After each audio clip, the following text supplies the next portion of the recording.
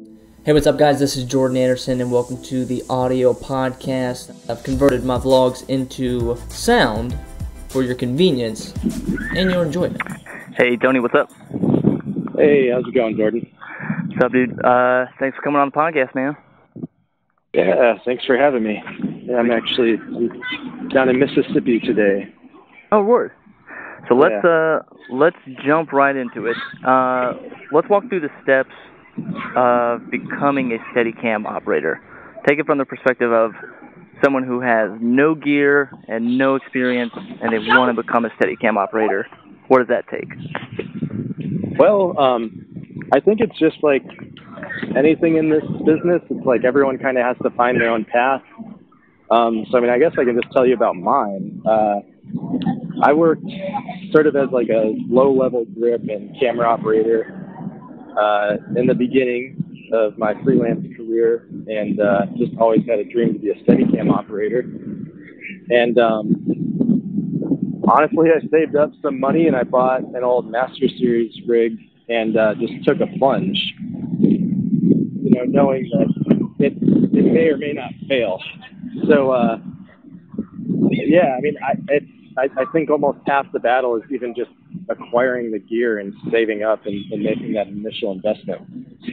Did you ever do uh say like a formal Steadicam uh I- certification, or you just started just going right into it?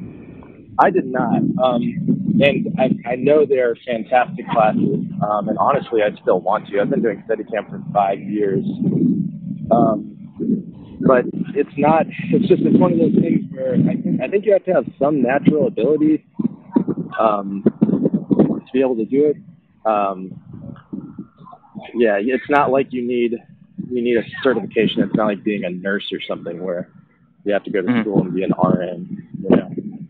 So, like what I what I tell people is, it's like I I have so much respect for the craft, um, and I love Steadicam so much. It's like I when I got my Steadicam, it's like I was almost afraid to even call myself a Steadicam operator. It took me like a year before I really started pitching myself as a Steadicam op. And really, what I tell people is, um, you know, I, I think it took me about two and a half years before I, I felt like I was decent to good, you know, and, and felt comfortable pitching full rates and and uh, working working for my clients.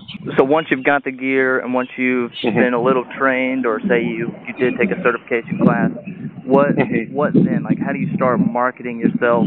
How do you start putting out the word that this is the service that you offer and you're the best at it? For me, Nashville, I work out in Nashville. I'm based out of there. Uh, I call it I call it a small a small market. It's definitely not Los Angeles. It's not New York. Um, it's not one of those big places, but at the same time, it's not a tiny town with very little production. For me, I think I got uh, most of my work already having my name out there as you know that camera operator, grip type guy. You know, when I was a little younger, so I sort of had a client base. Um, I guess the short story is it's all network. So if I were a Steadicam operator just starting out, um, I mean, it's like, you know, taking, you know, working on those little few films or your friend's projects and, uh, and just building your craft, building your skills um, until you are comfortable calling yourself a Steadicam operator and, and putting your name on it.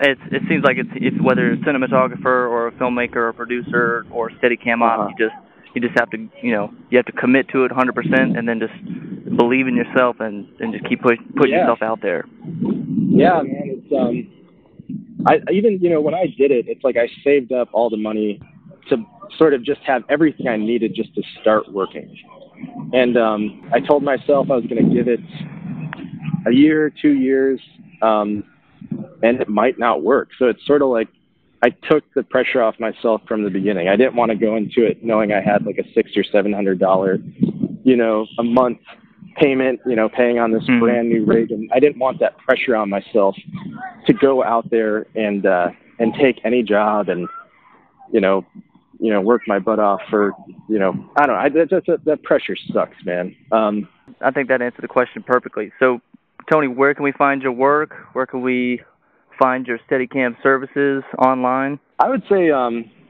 my Instagram is almost like my website. It's uh, my name with my middle initial. It's just Tony dot J dot Reyes. T O N Y dot J dot R E Y E S. Um. Yeah, based out of Nashville, man. I mean, you can find my contact info on my Instagram and uh, hit me up. Hey, what's up, guys? Thanks so much for listening, and be sure to subscribe so you can catch the next episode when it comes out. And if you haven't already, head over to YouTube and check these vlogs out for yourself. Thanks.